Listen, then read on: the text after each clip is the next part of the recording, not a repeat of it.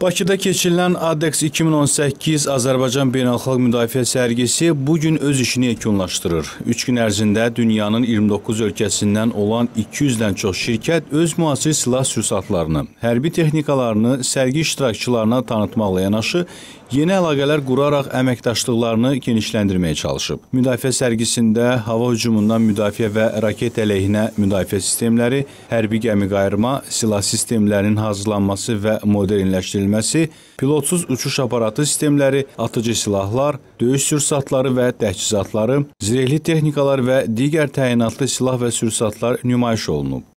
Bizim şirkət hərbi texnikanın istehsalı, daha dəqiq desək, raket komplekslərinin istehsalı ilə məşğul olur. Biz müdafiə sənayesi sərgisində artıq üçüncü dəfədir ki, iştirak edirik. Azərbaycan regionda özünə məxsus hub sayılır və bu baxımdan sərgidə öz məhsullarımızı nümayiş etdirmək vacibdir. Biz artıq Müdafiə Nazirliyi ilə birgə bir sıra müzakirələr aparmışıq və bu istiqamətdə əlaqələrimizin daha da inkişaf edəcəyinə ümid edirik.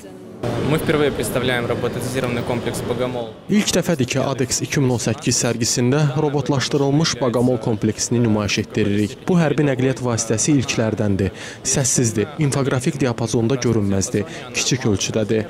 Sərginin təşkilatçılarına xüsusi təşəkkürümü bildirirəm. Ümid edirəm ki, bura yenidən gələcəyik və yenə görüşəcəyik.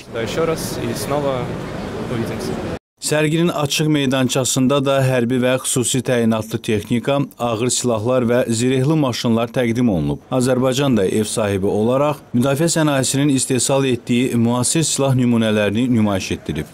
Sərginin fəal iştirakçıları kimi Azərbaycan Müdafiə Sənayesi Nazirliyi, eləcə də Nazirliyin nəzdindəki istehsalat birlikləri və zavodlar o cümlədən ANAM agentliyi əsas rol oynayıb. Müdafiə sənayesi sərgisi regionda ən böyük silah və hərbi texnika ekspozisiyalarından biri olmaqla yanaşı, müasir silah və avadanlıqların, o cümlədən Azərbaycanın müdafiə sənayesi kompleksinin gücü və qüdrətini nümayiş etdirmək baxımından mühüm platforma sayılır. Sərgidə bir sıra iştirakçı ölkələr əvvəlki illərlə müqayisədə öz milli ekspozisiyalarının sahəsini də daha da böyütmə şansı əldə edib. Təmsil olunan şirkətlərin sayının çoxluğuna görə ilk dördlüyə daxil olan ölkələr sırasına Türkiyə, Rusiya, İsrail və Belarus daxil olub. Ümumilikdə ziyarətçi şirkət və qurumlarla birlikdə sərgi coğrafiyası 44 ölkəni əhatə edib. Orxan Bədalov, Elmira Musazadə, İlkin Mehdiyev, CBC.